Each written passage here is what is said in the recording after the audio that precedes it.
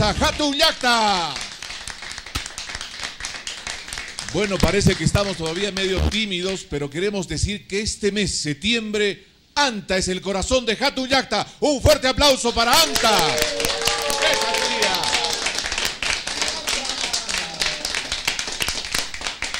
Señoras y señores, realmente muy contentos y satisfechos de seguir compartiendo con ustedes estas imágenes en esta alianza estratégica que se ha realizado a través de DIRCE Tour del gobierno regional, el propio gobierno regional y TV Sur, que está dedicado exclusivamente a conocer las provincias del Cusco. Hemos estado en Paucartambo, hemos estado en Canas. Este mes, como en el programa anterior, estamos dedicando a Canas, perdón, dedicando a Anta. Más actividad esta semana ha habido un conjunto de hechos que iremos presentando la próxima semana, pero también estaremos conversando con distinguidas personalidades de ANTA que han dado brillo a la intelectualidad cusqueña, como el doctor Demetrio Roca Guayparimachi. Están también conocedores lo que es Choquequirao, conocedores de lo que es la profundidad de estos restos arqueológicos que tenemos y que próximamente va a entrar ya en actividad para el turismo nacional y extranjero. Conoceremos también de Inquilpata, de esa feria que se está realizando y que tiene momentos muy especiales. Señoras y señores, queremos compartir con ustedes estos momentos muy especiales. Hay una sorpresa muy, muy digna el día de hoy. Uno de los afamados grupos de música, los Chancas, dedicaron y compusieron una canción a Guarocondo. ¿Quién no ha pasado por Guarocondo y ha comido un riquísimo lechón con su tamal dulce y su pancito de, de trigo? Qué rico, ¿no? La sorpresa justamente es con los chancas que estarán presentes cantando al pueblo de Anta el día de hoy. Y más adelante también conoceremos a los hombres que hacen hablar la piedra en, Guarocondo. Gente que se dedica a trabajar la piedra, picapedreros, que tienen más de 35 años en esta labor, dignificando ese trabajo importante que vienen realizando. Pero nosotros nos vamos rápidamente hasta Ancahuasi, un lugar especial.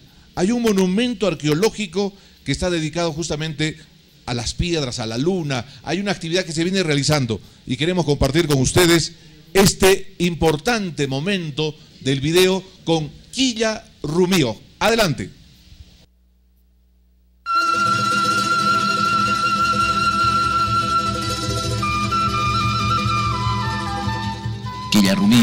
Es un sitio arqueológico que está ubicado en la provincia de Anta, en el distrito de Ancahuasi,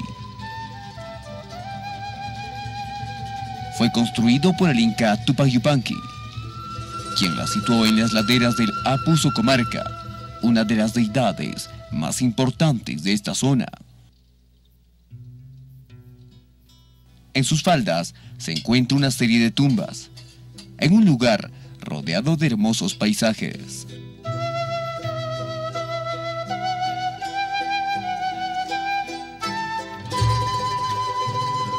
En la parte superior se observa un muro de circunvalación, dando la impresión de que fue una plataforma para destacar la presencia de esta huaca.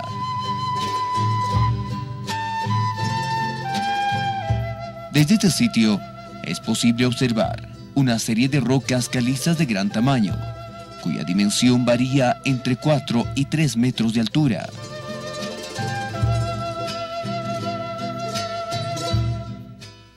Se observa también un usno, un edificio de varias plataformas construido con piedras talladas y que se ubicó en un lugar importante.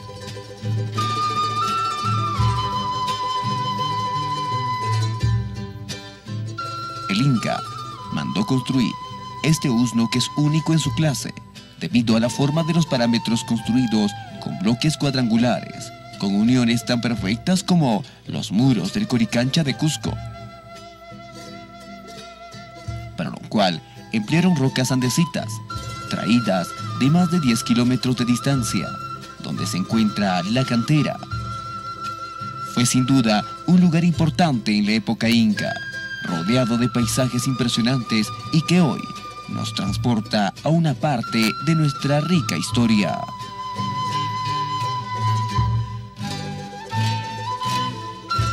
En septiembre, Anta es el corazón de Hatun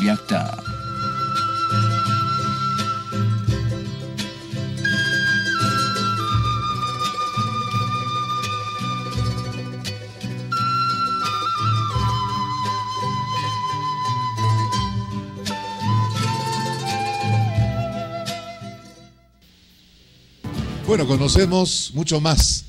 Seguimos en este propósito de que usted como cusqueño, como peruano, porque este programa se difunde a nivel nacional a través de nuestra línea de ATV y a nivel mundial en nuestra página web. En este momento estamos en todo el mundo conociendo más de ANTA y aquí en Jatunyacta. Y queremos dar la bienvenida al licenciado Américo Ortiz de Ceballos, un baluarte no solamente de la parte eh, física, deportiva del Cusco, sino también un anteño, no solamente de corazón, sino dedicado a esa gran patria pequeña que es su anta querido. Él ha sido representante durante mucho tiempo de el Inca, el supremo Zapan Inca, cuando ha interpretado el personaje principal del Inti Raimi. Y vamos a recibirle con un fuerte voto de aplausos al licenciado Américo Ortiz de Ceballos. Américo, muy buenas noches, bienvenido a Jatunyacta y cuéntanos de qué parte de Anta eres. Ah, buenas noches. Pégate un poquito el micrófono, por favor. Ante todo, buenas noches, Hugo, buenas noches a todo el Cusco y buenas noches a mi querido Anta. Yo soy del mismo Anta, de la cumbre, de la misma provincia, de, la misma de la capital de Anta. ¿De Escuchaca o la parte No, de arriba? no, de la parte de arriba, en el Porque mismo Escuchaca nos han contado que solo era una callecita, ¿no? Y por Era- las circunstancias del tren y de, de las de los medios de comunicación se convirtió justamente en el sitio de comercio y se dejó la parte superior donde realmente está la plaza principal de Anta. Anta. Así es, así es. Yo soy del mismo Anta, de arriba, del cerro. ¿Y qué significa para, te- para ti ser anteño? Bueno, creo que no tendría yo palabras para decir lo que es un anteño. Anta es, ha sido, es y será creo que tierra de grandes hombres. Tanto en la ciencia, en la cultura, en el arte, en el deporte, al Cusco ha dado personalidades, como tú lo has dicho en, tu- en el inicio, grandes hombres y seguirá dando grandes hombres.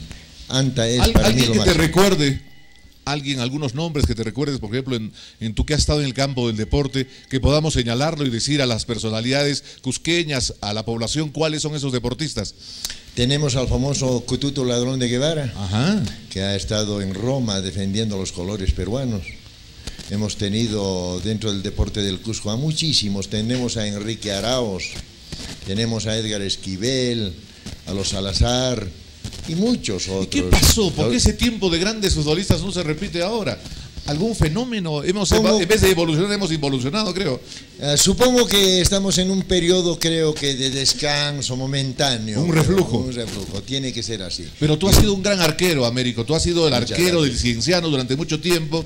Y creo que ahí nos muestras un conjunto de medallas. Si nos puedes contando, ahí tienes una medalla importante cuando el club cienciano fue justamente, cumplió los 100 años, es uno de los principales equipos a nivel nacional y el único que ha hecho quedar bien a nivel internacional en el parte deportiva. Pero tú has sido el arquero y el portero, el, gran atajador de pelotas de nuestro gran equipo. Es así, Hugo. Tuve la suerte de ser arquero del Cienciano, de haber sido catalogado como el mejor arquero de la Copa Perú del 70-71, haber eh, traído muchos trofeos personales, el reconocimiento del Cusco y sigo haciendo deporte. Creo que el deporte para mí va a morir cuando yo esté dentro de un cajón. Claro, y ahí tienes unas medallas también cuando has participado como representante de los cesantes y jubilados, porque tú has trabajado, me acuerdo, en la ESEP, has trabajado en varias instituciones, en el Colegio Garcilaso también, en algún momento, y tú tienes también tus medallas de oro. Ah, efectivamente. Y no por vanidad, sino estas medallas que tengo acá solamente son logradas este En el año. presente año. O sea, ¿cuántas Presente. medallas tienes en total? No te podría decir el Un número, gran número. pero creo que son muchas. Pero es un reconocimiento a tu esfuerzo, a tu trabajo. Pero en algún momento yo quería preguntarte, ¿cómo se unió el ser arquero y después ser el, el Inca, el Inti Raimi? Son dos cosas de repente que no van relacionadas mucho, ¿no? Pero después de ser arquero, creo que junto contigo todavía tuvimos la suerte de pertenecer al grupo de teatro Máscara. Claro, con Guido Guevara. Guido Guevara, Zulema Arriola y muchos otros, ¿no?